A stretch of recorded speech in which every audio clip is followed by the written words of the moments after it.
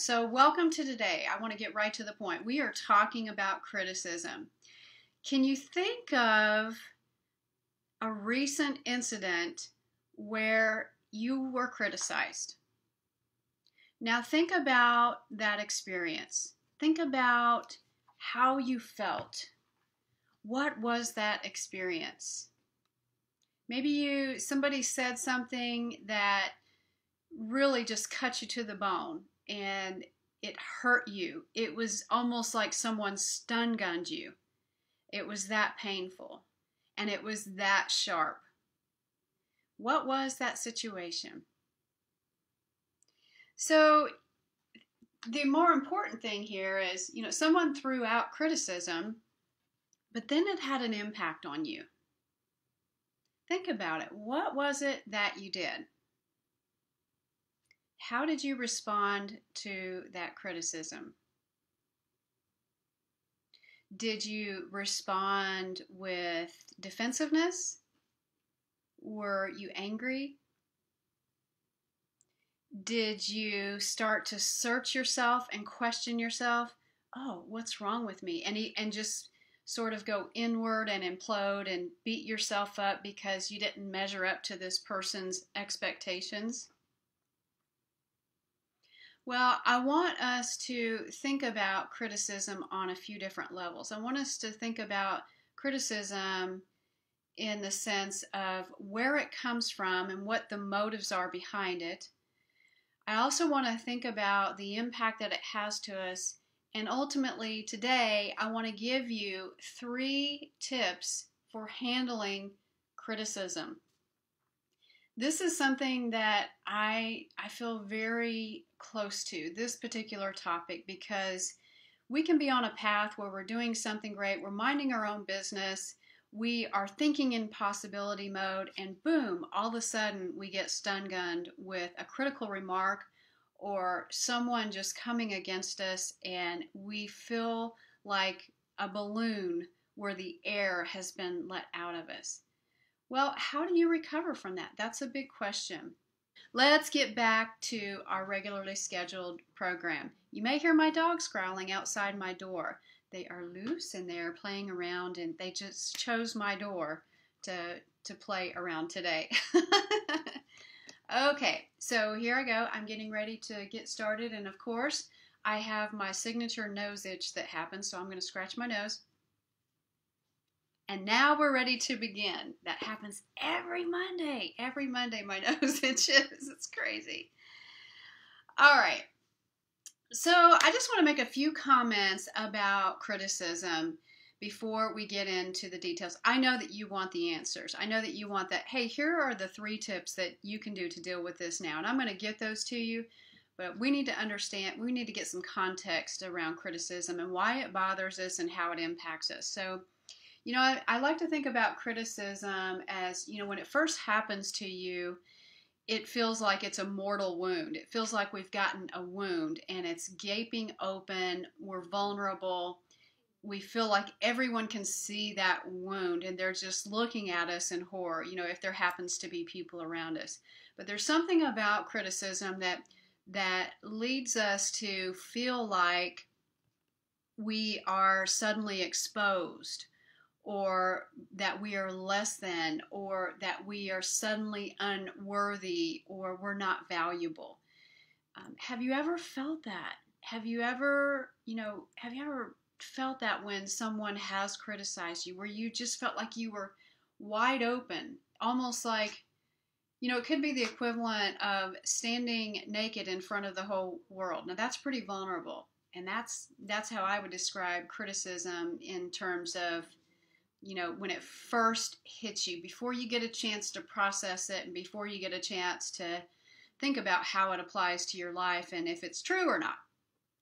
So, let me just tell you, you know, it what happens typically when we experience criticism is it it's almost like a virus and criticism will come and it will look for cracks and crevices to seep through in your spiritual armor. it will look for ways to get around your emotional strong points, uh, your mental fortitude, and your confidence. So it always looks for an angle. Now, this may, you may think, gosh, Angie, that's pretty, uh, you know, what's the word? That's, mm, I'm trying to think of right, the right word. That's maybe going overboard, you think? But really, criticism is this invisible, unseen entity that looks for places to reside. It looks for a place within you to take residence and start to metastasize in you. And what happens is when criticism is allowed to stay and reside within you, the effects of that criticism, it does metastasize to all of your four personal pillars.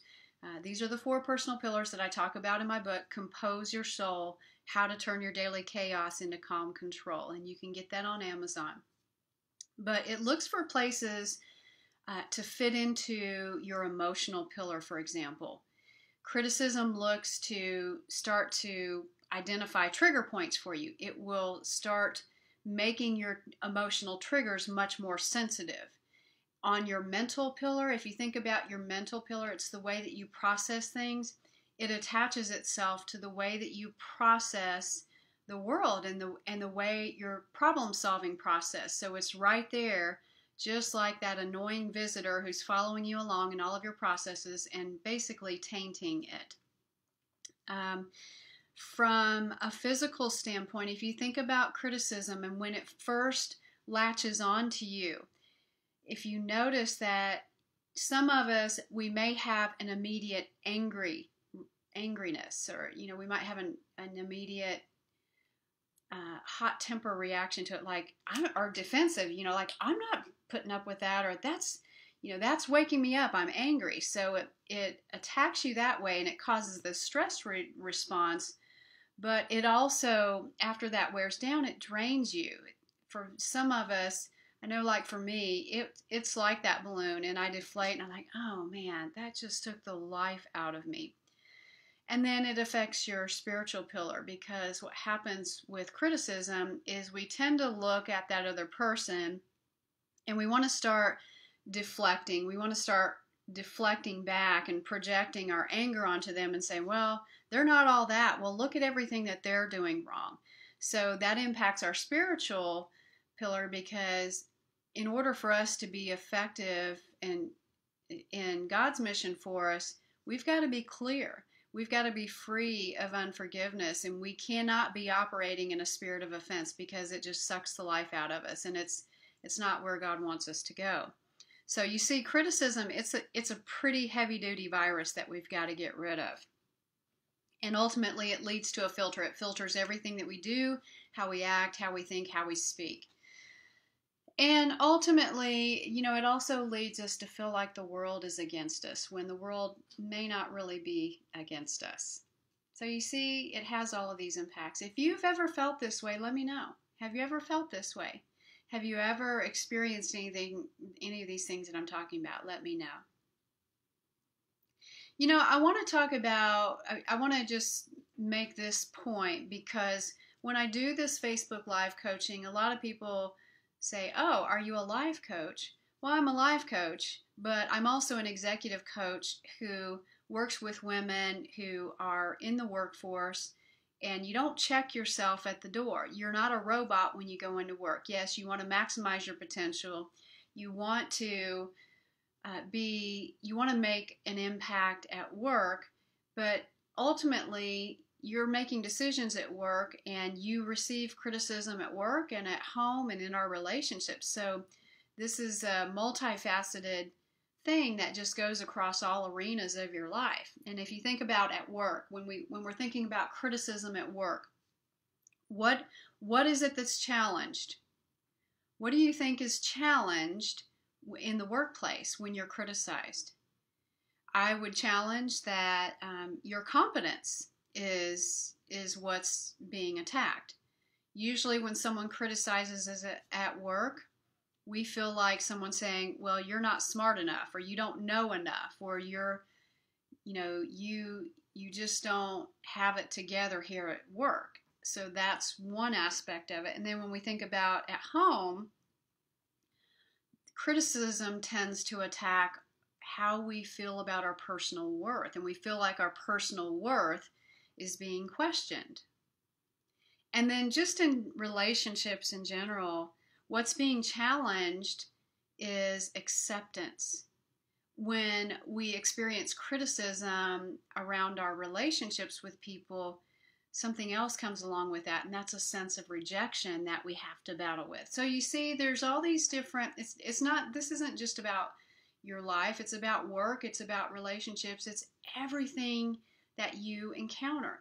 I mean, if you are a churchgoer and you go to church, I mean, so many people have left the church and stayed away from the church because they have just crumbled under criticism. And, you know, they, someone may have said something that was out of line and you took it personally and so you left the church and said i'm not going there. Well i'm going to tell you that the church is a hospital.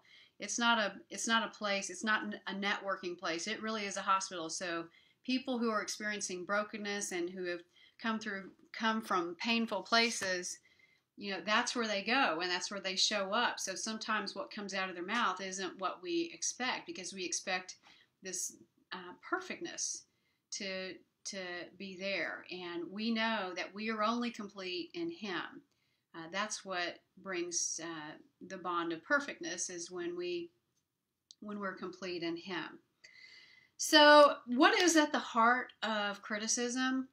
I thought long and hard about this and what really is at the heart of criticism from a natural perspective. And what I came to realize is that it's comparison. When we are criticized, what comes out of that is this automatic need to compare. Ultimately, when someone criticizes us, we start looking at ourselves and we start comparing ourselves to other people. We feel like we're under attack, but it's because we feel like we're being compared to something, we're being judged against something. And sometimes criticism happens just that way. So that's do you feel that? Do you experience that? All right, I'm going to take a quick pause here just to do a check on our on our Facebook Live just to make sure that everything is good. Doo-doo, let's see here. Yep, we are, we're live. Very good. All right. So now we want to get to how do you handle criticism? Um, I, I am going to think about myself personally um, on behalf of I'm well, actually, I, I think I'm going to use the example that uh, something that happened recently uh, to my daughter. My daughter is a very outgoing, extroverted young lady, and she is full of life. She's full of joy. She's funny, and not too long ago, she got together with some friends, and a girl that she wasn't really friends with uh, threw out a what I call a pot shot at her and, and said something, you know, criticized something about her. Well, it hurt her very deeply. And as a result of that, what happened is she started questioning herself and started um, started worrying about herself. So, um, you know, that's how she handled it. When I get criticism, I, my initial reaction is, "Ooh, I'm kind of defensive and and angry and." You know, I want to deny it. So I go through this process of I want to deny it, and then I get angry about it, and then I get depressed about it. So if you think about the grieving cycle, it's almost like I go through this accelerated grieving cycle. So, how about you? How do you handle it? Well, I want to give you three things to think about, three tips to think about when you're dealing with criticism. And here is the very first one. First of all, recognize the difference between criticism and feedback. because there is a difference between the two. And I po- made a post recently about this. Let me pull it. Um, yeah. So I keep this in my journal. Everything that I talk about, are, these are things that I really think about and capture because they are so important. So when we think about feedback, feedback is really supposed to be a positive way to recognize when someone is being effective and recognizing where someone can be even more effective. And this is the feedback model that I use when I work with leadership and teams and my coaching clients. I don't focus on, you know, or even frame it up, well, here's what's wrong with you. That's just, it's not right to do that. But feedback is designed to identify how you're effective and how you can be even more effective. So it's designed to be helpful Whereas criticism isn't coming from that place of helping people to be more effective. It's really designed to hurt people. So it's so when it feels sharp and piercing, know that if it's criticism, then it's intentionally designed to hurt. So another difference between feedback and criticism is that feedback is uh, designed to empower you to to maximize yourself, to be a better version of yourself. And one thing that we're really charged with is, especially, you know, if you are a woman of God, you're, you're charged with continually working and growing to be Christ-like. And and your feedback, the feedback that you get, is designed to help you to get there and to enrich enrich your lives. Whereas criticism what it causes you to do is to defend. And it, you you see this, I mean, it puts you on the defensive instead of empowering you. It tends it tells you to put up those walls and say, "Oh, I I just don't want to receive that," and it, and so criticism is causes you to put your hands up like defensive wounds. The other thing about feedback, which is more of this positive way of receiving information, about how you're showing up and how you're being effective is that feedback um, causes you to open up and to do more and to want to be more effective and to maximize your potential and your gifts. Whereas criticism, it simply shuts you down. It causes you to go in protective mode. You shut down, and what happens is you end up not hearing anymore. And, and if you are the criticizer, then it will shut down that other person. So that is the very first tip. And I'm going to show this. I'm going to try some experiments with my stuff here. Yep, there we go. So ultimately, what's the first tip?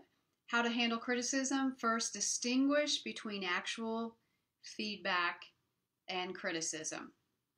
And you can you can recognize that. It's very easy on based on what I've said. All right, so now what is the second tip? So I'm going to share the second tip with you here. How to handle criticism. First of all, discern where it is coming from before you respond to it.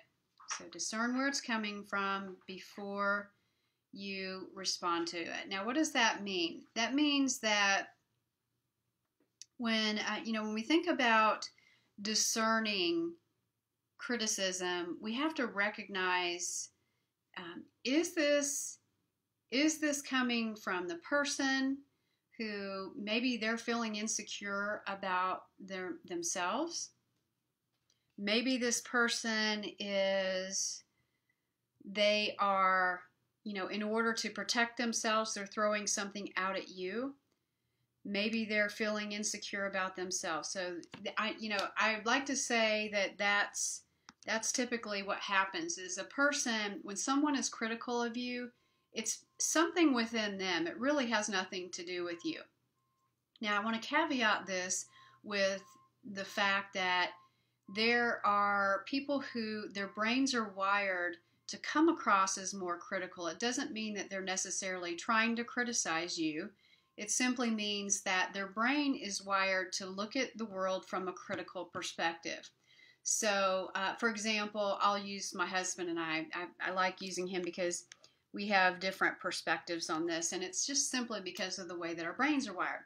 Now, when I look at people, I I look at people, I look at things in the realm of possibility, and I like to recognize what people are doing well. Well, my husband Aaron, the way that his brain is wired, he's he is wired to look for things that could be potential problems and and things that are not correct because it's his way of saying, "Hey, we need to fix this in order for it to be right." And it's not that there's any ill intent, it's just that's how he looks at it. Where now, where it becomes personal and emotional is when you know it's a jab. You know, and you can distinct you can distinguish that by the way that someone shaped it up. So if uh, you know if if someone says, Angie, I don't like that red shirt. It drowns out your color. You know, that could come across as something critical. Now, if it's meant with sharpness, they might use more flavorful words like, that is the ugliest shirt I've ever seen. And let me just tell you, it makes you look like a pig with lipstick. Now, there is some heat in that, so you can tell the difference between the two. So, you want to make sure that you're discerning what kind of criticism that is there and where it's coming from. So, um, and I'm going to tell you something else. You know, for those of you who are in the spiritual realm, you recognize that there are, you know, there's an enemy at work. And his job is to kill, steal, and destroy. And what he wants to do is undermine your confidence so that you don't want to speak up and do what your mission is and do what you're called to do. So sometimes that enemy will work through people that you care about and people that you don't care about. And you see that happening right now in social media. You see, you just see this very critical and hostile spirit working, and it's working through people. So sometimes, you know, if you're if you're really close and in tune with what your calling is and what your mission is, you know, the enemy's going to come in. He's going to try to separate you from that because he doesn't want you to be effective. So if he knows that you respond with emotion and hurt to criticism, he is he's definitely going to put somebody in your path to criticize you to just knock you off off kilter. So you have to be aware of that. You have to recognize that and know that you have recourse. You have the ability to dispute that and you can, I, I like to use scriptures. I especially love going to Psalms 37, where the scripture says, you know, don't fret because of evildoers. Don't fret because of those people who are trying to tear you down. You know, instead, I want you to focus on these things. I want you to focus on trusting me. I want you to focus on committing your way to me. I want you to focus on resting in me. And I want you to focus on delighting in me, to cease from your anger. I strongly encourage you to go look at Psalms 37 and it is it is a perfect passage to be reading especially if you've experienced some criticism. So, you know, here are some others for those of you who are scripture readers. Um, another one in Psalms 25 that says, Keep my soul and deliver me. Let me not be ashamed, for I put my trust in you. Let integrity and uprightness preserve me, for I wait on you. And then also Psalms 27 is a good one. Though a host should encamp about me, my heart shall not fear. Though war rises against me, in this I will be confident. You can combat that spiritual warfare with those scriptures. Now, if that's not your cup of tea, and let's say that you're like Angie, you know, I'm not, I'm not a spiritual person. I don't, I'm not even sure I believe in God. Here's what I want to reassure you of that positive you've got to defeat negative thinking and negative comments with positivity. That much you can be sure of. So even if it's looking for a positive quote that combats that you've got to speak life you must speak life into what's true what's true and not what's false. So here is this is a big one and if you got a pen and paper I want you to write this down because I'm about to share something with you and I want you to chew on it for the rest of this week. And here it is truth mixed with anything else is not truth. So let me say it again truth mixed with anything else is not truth. Now, you can take that a bunch of different ways. You can take that in the sense that, you know, when someone says something about you, uh, you know how people always say, oh, there's a grain of truth in everything. Well, I strongly disagree with that. My position on truth is that you either tell the truth, it's there it's something that's either true or it's not true. It's either true or not true. So then I can take this in a spiritual realm, and so many people take, you know, they might take one scripture in the Bible and try to apply it, but they won't really apply the rest of the scriptures, and somehow that makes it truth.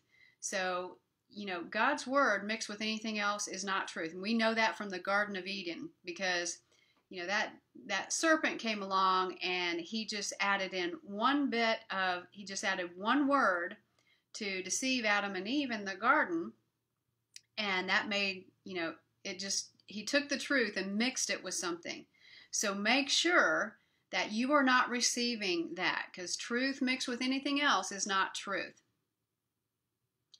All right so now you're probably saying all right angie what is tip number three? Well we are about to go to this. Let's go to the drum roll. Here we go. Tip number three on how to handle criticism. Respond with grace. And just as a reminder, in case you haven't forgot, check out Psalm 37. It's good medicine for the soul, especially when you've been stun gunned.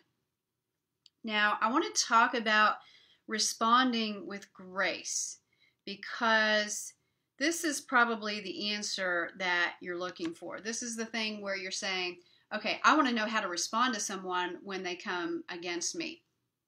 And here's what I want to tell you. When you when someone is criticizing you, and you've already discerned okay this person is they're criticizing me because they have something uh, working in them that is a struggle or you know maybe they're struggling with their own inadequacy.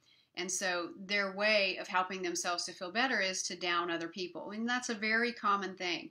I would say most criticism that comes from people comes from that place. It's not coming from a helpful feedback kind of place. So first of all you have to recognize that and be able to discern that and then process the criticism. So, processing it means that you're going to have to apply an autoresponder to that person that you're talking to. So, if they come against you and they they are saying, "Man, you did a crappy job on that project." Well, that's criticism. And what you don't want to do is just spout back off and say, "Well, you're an idiot and you don't know what you're doing in your job." that's not the right way to handle it. That that creates a, a spirit of offense and um, it gets into this whole other mess of a root of bitterness and all this other stuff that you don't want in your life. It complicates your life, and our goal is to simplify our lives.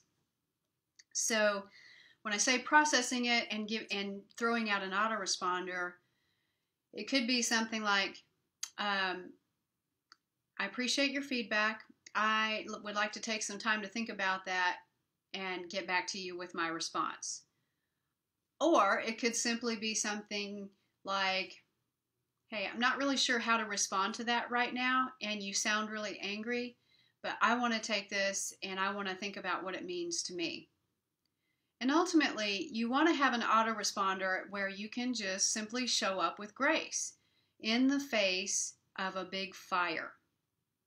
So, what is your autoresponder? What is it that you can say? What is it you, that you can do?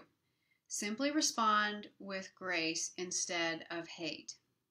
Now, when what happens is this is the point when that criticism starts to want to look for those cracks and crevices within you. It's looking for a place to reside so it can metastasize in your body, and, the, and you need to stop this.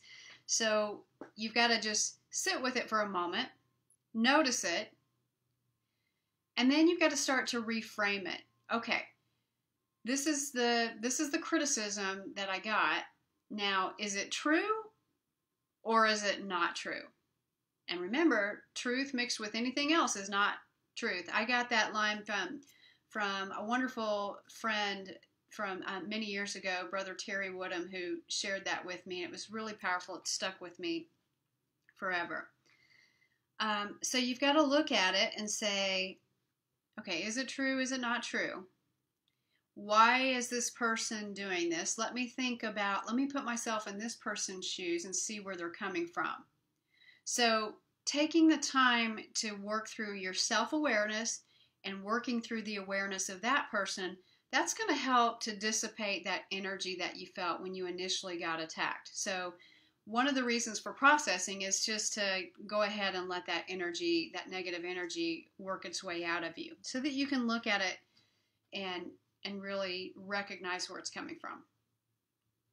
So then once you draw your conclusion about that, no, this is not true. And so then your next step is okay, well, what do I do with this? Uh, sometimes it's nothing. My favorite way of dealing with this is when I know that someone has criticized me or come against me, and that's happened plenty. You know, I that happens to me all the time. I'm I'm a public figure. I'm out there talking and coaching people and speaking, and I get criticism.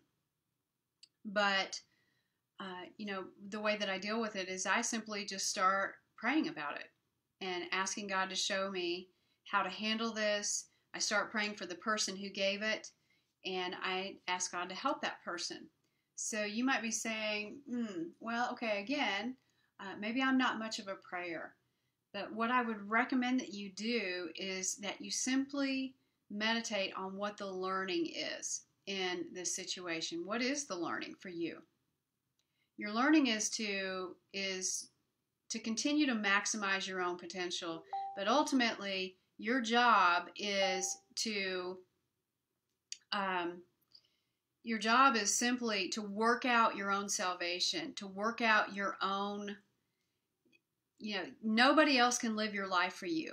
And so criticism when it's meant to hurt, your job is to simply just instead of I mean if you think about if you think about soccer, you know, we deflect, you know, we kick the ball away, but in some situations we just want to pass it along. Okay, I'm um, I'm going to pass along this criticism and just move it out of my way. Not that you're passing it on to someone else, but you're simply just, you know, just going with the momentum of it, processing it, and saying, okay, so what value can I gain out of this? And how do I need to be uh, sending good vibes to this other person who's given it? Because obviously they are not feeling good about themselves because they feel the need to criticize all the time.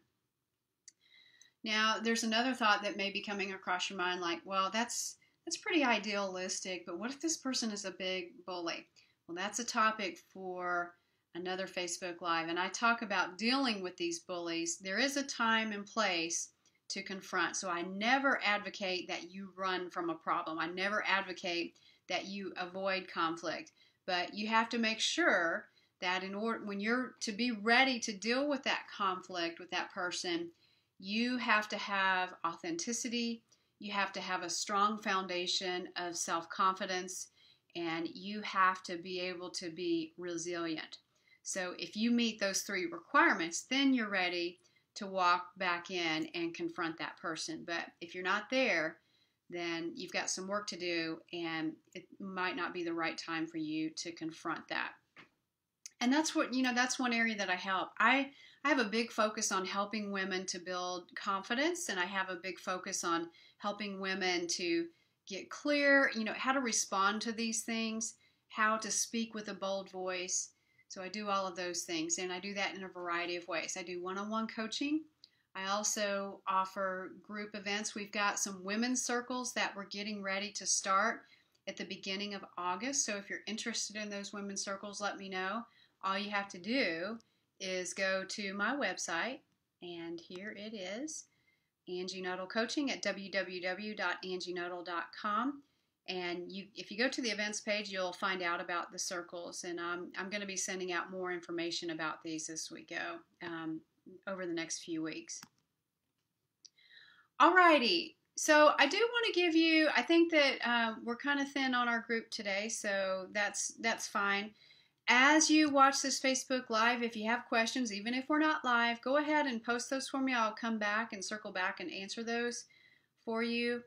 And uh, my wish for you is that you have a criticism free week. We know that those criticisms are going to come, but my wish for you is that you handle those with grace, that you be able to discern those and recognize where they're coming from And we also, uh, my prayer is also that you are able to distinguish between what is criticism and what is feedback. All right, everybody. I hope you have a fantastic rest of the week. Happy 4th of July. Celebrate your freedom. Love your friends. And be good. Give all praise to God. All right. Have a good one, everyone.